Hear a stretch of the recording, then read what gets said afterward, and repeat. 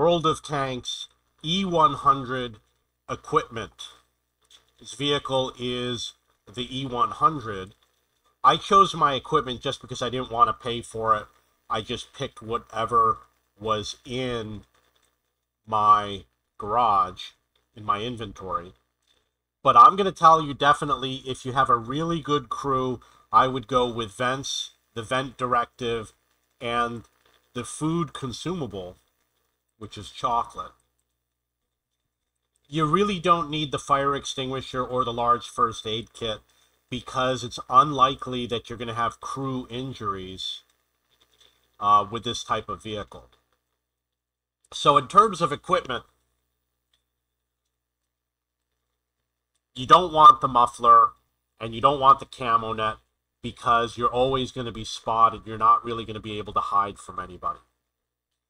You really don't want the binocular telescope. You have to be stationary for this to work. And it only really works well if there's lots of enemy vehicles in the game or if there's only one other vehicle in the game and you're waiting for him to come looking for you. Very limited use. Uh, coated optics, it gets you an additional amount of experience because you're going to be spotting a little bit more per battle. But I really don't recommend coated optics. I would recommend getting crew members that have recon and situ- situational awareness. And the reason why is because when I go through my service record and look at my heavy tanks, they don't do that much spotting. Additional Grousers and turbocharger is good, especially for frontline where you have to do a lot of driving or for large maps. I would definitely go with a turbocharger, and the reason why is because the plus four kilometers is really beneficial. I would really like to have that extra power. The spall liner and the improved hardening and the modified configuration, I just use two repair kits uh, if you don't use two repair kits, that will help you with your repair speed.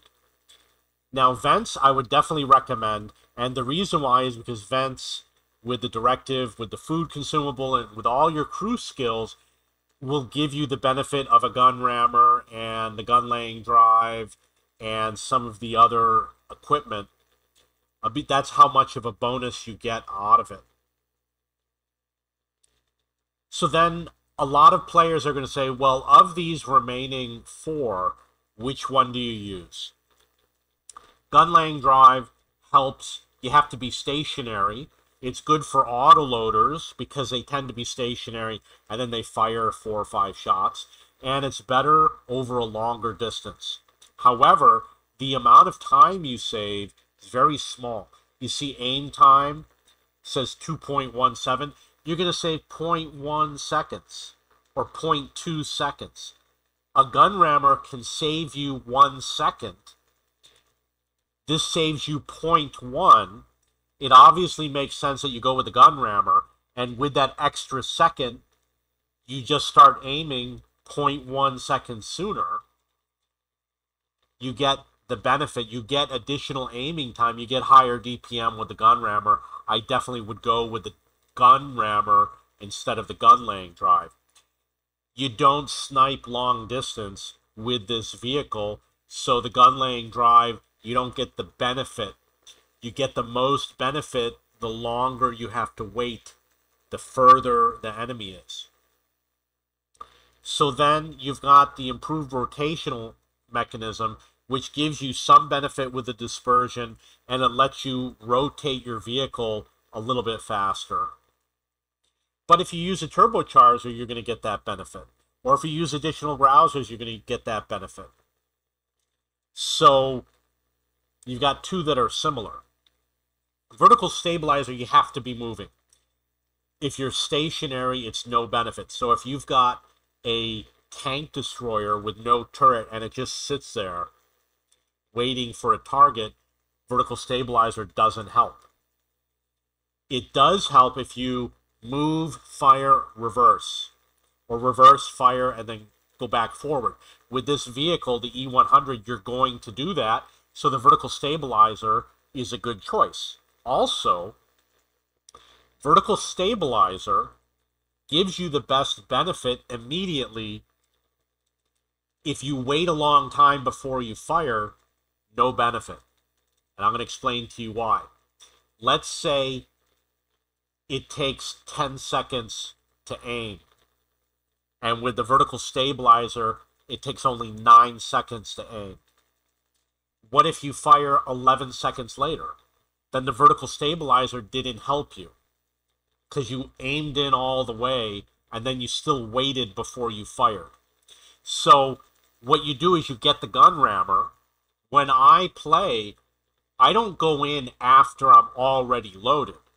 I estimate the exact time that I'm going to be loaded and how long it takes to aim. And I go in and I time it so that when it's finished aiming is when it's finished loading. They both happen at the same time. So if you use the vertical stabilizer with my method, you'd have to go a tenth of a second sooner or two tenths of a second sooner. So you can see that the vertical stabilizer gives you a very, very small bonus in time. Number two, you get the most benefit if you fire immediately. If you go out and fire immediately because your reticle is a little bit smaller, especially if you don't have to aim. So if they're very enemies close to you, you get a really good benefit. It's good for hit and run. Now the improved aiming always works. You always get a smaller reticle. You get a smaller reticle if you pop out and fire, and you get a smaller reticle if you sit and wait 10 or 15 seconds to aim. So what I prefer is the smaller reticle with the improved aiming. I recommend improved aiming. A lot of people won't do it. I think they're wrong. They can do whatever they want. Also, it's going to help you sniping at long distance, and you're going to be more accurate with a cupola or with weak points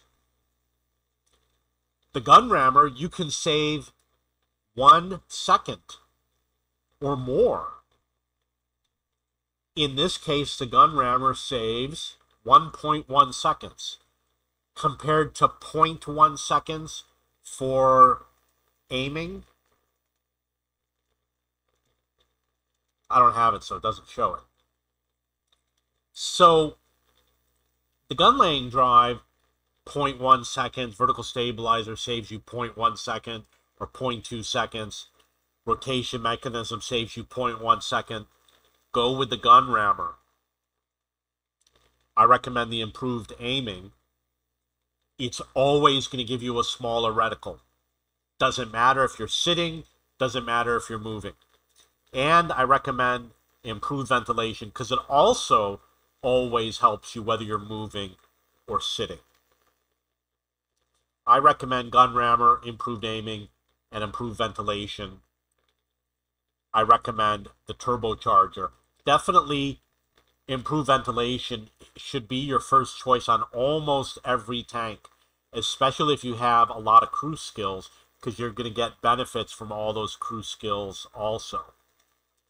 In terms of grousers versus turbocharger, turbocharger gives you the top speed. What a grouser is, is like a grip on the tread. So it lets you spin around. It's like cleats on shoes. So it's good for spinning and it's good for muddy terrain. If you put both together, you're going to get better performance, but a smaller gain. You pick one or the other based on what you have. And in terms of like the improved hardening and the spall liner, this vehicle has heavy armor, so I don't recommend the Spall liner because it's going to have little benefit. And the improved hardening and modified configuration, if you have repair kits, it nullifies these. It is good for suspension durability, but then again, you get that from, you know, your repair kit's going to help you with that also. So that's my recommendation. Um, if I had unlimited money, I would put vents and then I would put a gun rammer, and then I would probably put the turbo, because I like to move around quickly.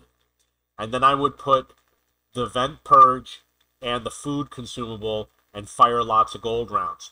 Now remember, with the gun laying drive and the vertical stabilizer and the improved aiming, only useful with tanks that are far away, difficult to aim at, or higher tier tanks, better armored tanks. This is already a higher tier tank.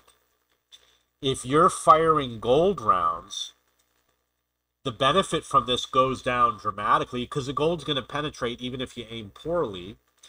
And number two, you really don't get a benefit from any of these if you're shooting against lower tier tanks, light tanks, SPGs, medium tanks, weakly armored tanks. You only get the benefit from a few enemy vehicles in the game that are well armored. So don't put too much emphasis on anything that makes the reticle smaller. It's a 0.1 second benefit. And look at how much it costs 600,000 silver for a 0.1 second benefit. Go with the higher DPM, the overall performance, and the faster speed and now think about it. If you have faster speed, let's say this got you into position 0.1 second faster, it gave you 0.1 second more time to aim. Or if you rotated a little bit faster, this is for rotation, for movement. So if you're getting there faster, you're going to start aiming faster, which means the benefit from this is counteracted. Uh, so let's say you get there 0.1 faster and this saved you 0.1 aim time, then just get the turbocharger. This is nullified. In fact, I mean, it doesn't make it useless, but you can save time by spinning and aiming quicker. You can't improve your gun load time by spinning faster, but you can improve your aim time because you get there faster, you have more time to aim, perhaps before the enemy disappears or gets taken out of the game. Okay, those are my recommendations. If you have any questions or comments, please post below.